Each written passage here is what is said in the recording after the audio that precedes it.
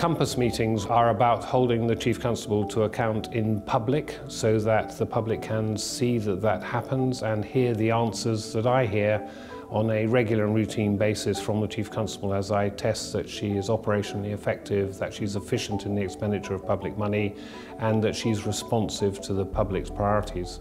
Hello and welcome to the next in a series of Compass meetings where the Chief Constable and I... It's really important that I can be the voice of the communities to the Chief Constable, asking the questions that they would ask if they were in the room, understanding what their priorities are for the time being, what the issues are topically, and there was some very good questions today, as there often are in these Compass sessions, and I believe that the public get really good answers in the voice of the Chief Constable to questions that they would like answered. Chief Constable, at our last Compass, I gave you a challenge to consider and respond to some of the thematic concerns the public have the first of which related to antisocial behaviour. Well, I was really glad for that uh, challenge last time, Commissioner, because as you know, we... No one can be in any doubt that policing is under pressure at the moment, and for the first time ever, um, Hampshire Constabulary have had to ask for mutual aid.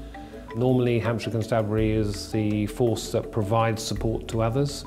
It gives just one indication of the pressures we're under, and therefore the need to test the Chief Constable that she has heard and understands the community's priorities, that she's delivering the most operationally effective policing to keep us all safer. We felt this summer um, has been extraordinary, not just in Hampshire, but, but across the UK. I mean, just in July of this year, we had 5,000 more 999 calls here.